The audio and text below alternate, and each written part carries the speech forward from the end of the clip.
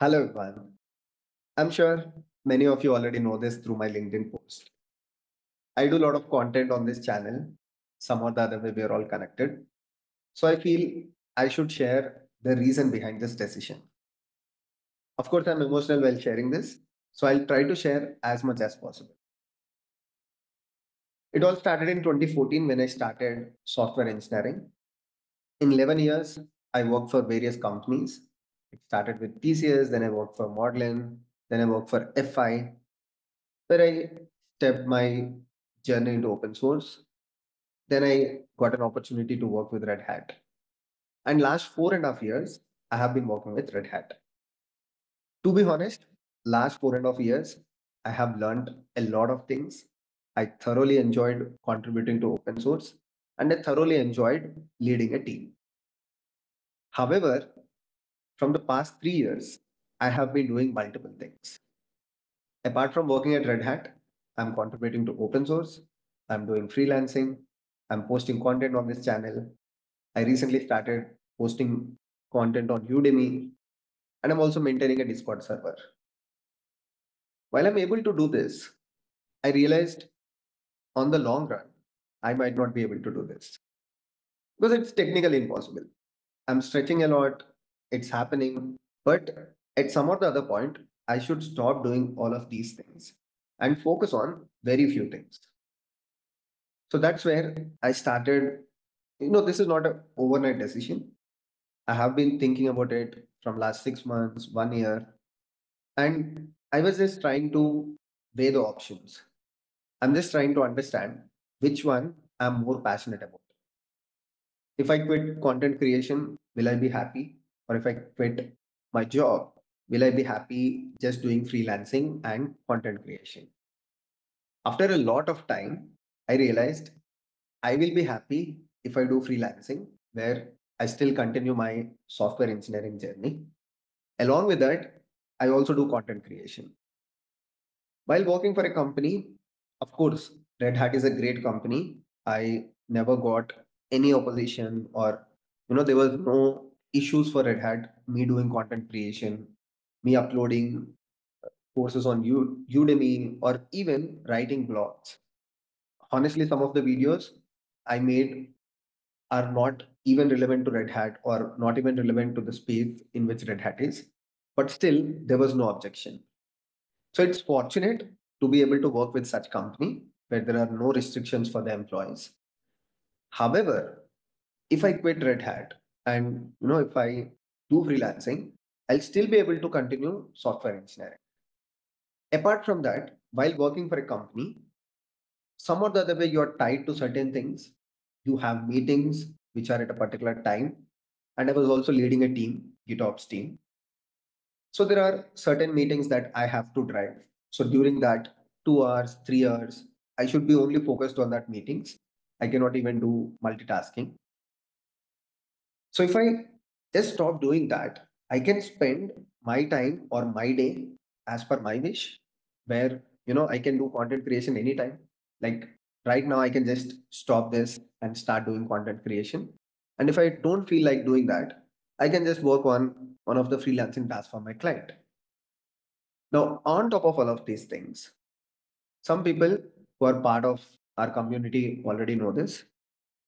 I also have a lot of ideas. So I always feel between content creation and people who are learning, there is a lot of gap.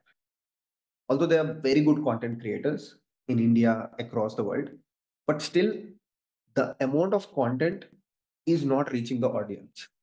So I just want to bridge this gap. For that, I have a lot of ideas. Of course, all of them are on the paper at this point. So it's not worth talking about these ideas.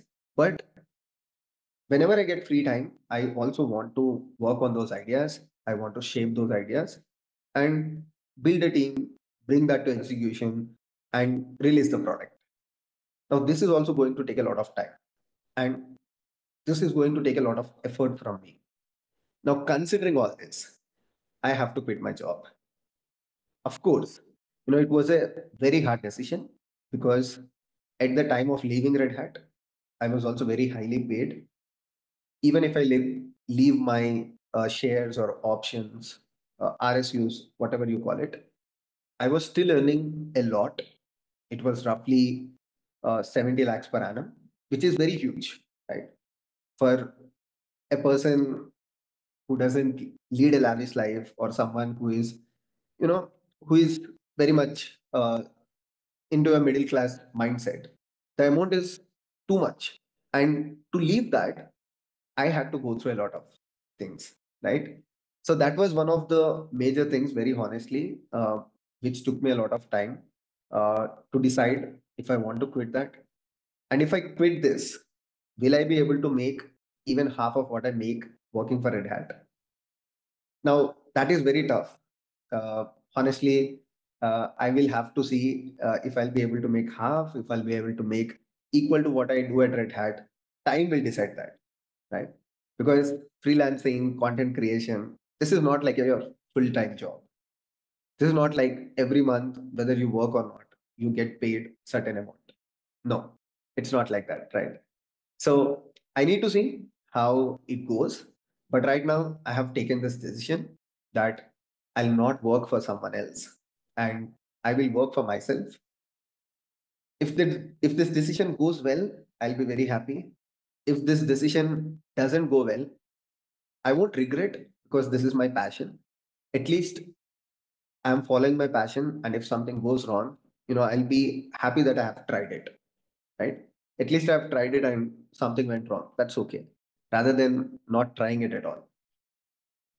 So yeah, this is something. Now, what is the future plan?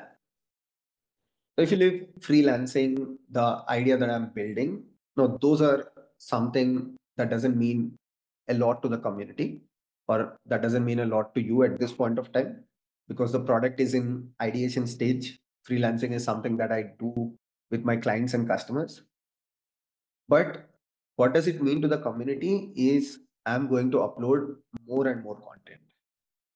So you will see me more active because I have more time. And that doesn't mean I'll be posting any random things uh, on the channel. I'll make sure I post rich content.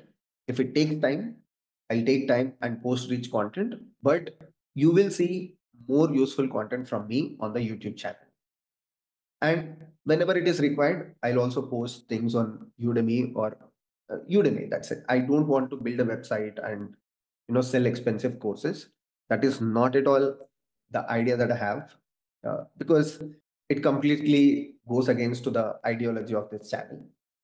Uh, the reason for starting this channel is to put courses out free or at least make them affordable.